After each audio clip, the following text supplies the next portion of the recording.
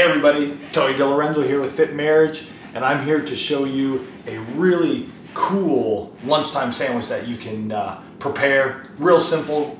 Here it is. And uh, I don't know if you guys have seen this, but it's some focaccia bread. I don't know if you can see that on the video. But this is good stuff that just adds some really good flavor to your sandwiches without adding a lot of junk to it. So this is a spinach and cheese. I have it in my uh, hot have it in my little oven here, warming it up. So there it is, man. Look at that thing. Ooh, spinach, some nice cheese up on that. And what I love to do with this, add a little protein. So I'm gonna add some turkey slices to it. I just added on half of it because I like to make these into sort of like a, what I call a gorditas type sandwich. So I'll add some turkey up on here.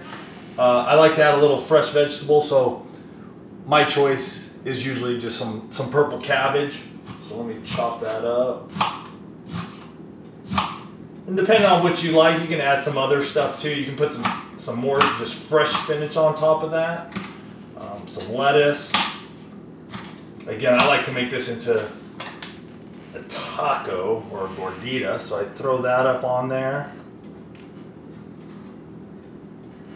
Look at that. Look at that right there. And then all I do is I just fold this puppy over. I got myself a nice little sandwich. Check that thing out. Beautiful.